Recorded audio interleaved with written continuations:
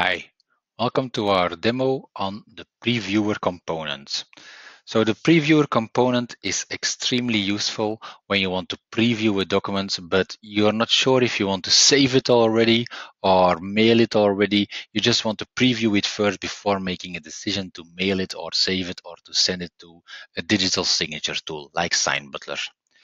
Okay, let's go uh, and take a look how to configure it we of course go to the edit page here on my um, on my lightning component so let's take a look at the preview component. We just drag and drop it on the screen as any lightning component okay? And the first step is to add some doc configs to retrieve. Uh, sorry you can only add one doc config so we're just to take our car quotes and add it here then there is a list of packs that you want to uh, use on this one. So packs are a great way to define actions on certain uh, um, um, on certain documents. In this case, there are two packs on the quote. One pack is for to is to mail the quote. So this is already a pack that we want to use. Okay, and the other pack is to digitally sign our quote. So this is also a pack that we want to give as an option to our users. So the packs via comma are sep separated by comma.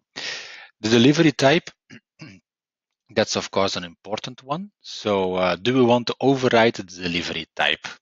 Let's go and take a look to our doc config for the quotes. This doc config is a delivery type of uh, base64. So uh, if we set it to files, for instance, this would mean that we want to save this doc uh, document as a file on our opportunity. So to the record we are starting from. A previewer would not be much of a previewer if it would save it uh, immediately as a file. So we can just say the delivery type override to base64, which means it will not save the file.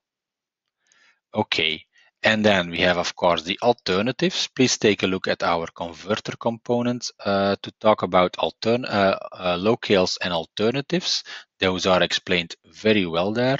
And of course, we can set the visibility. So just as any uh, component, you can set the visibility here.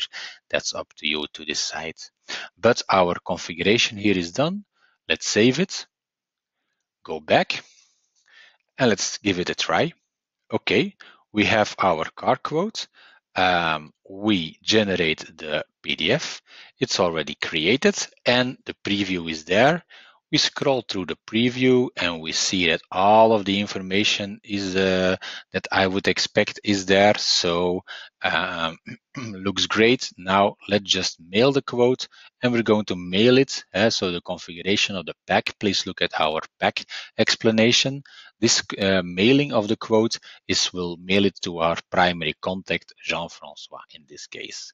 Okay, let's click the button mail. So now it will package everything and send it off for mailing. It's already been done. So the mail has been sent. I already hear my cell phone in the back. And if I look at at my uh, um, my Gmail, then I can see indeed my quote has just arrived sent via Salesforce. It's uh, personalized. It says Dear Jean. So uh, Jean was indeed the person here that was the primary contact. And uh, kind regards, Igor Staver. So I am the opportunity owner. So that is where it gets the name Igor Staver.